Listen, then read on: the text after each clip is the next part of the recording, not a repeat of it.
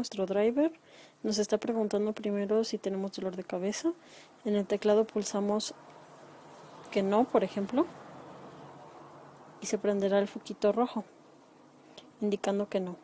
Después nos pregunta dolor de estómago y le pulsamos que sí. Se prenderá el foquito amarillo indicando que sí. Después nos preguntará si tenemos vómito, le indicamos que sí. Y nos pide que tomemos el termómetro. Aquí está el termómetro. Y nos calculará una temperatura de 24 grados.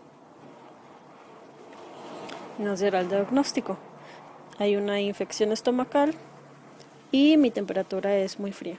Otro ejemplo, tengo dolor de cabeza, pulsamos que sí. Me pregunta si tengo mocos, pulsamos que sí. Me pide tomar el termómetro de nuevo.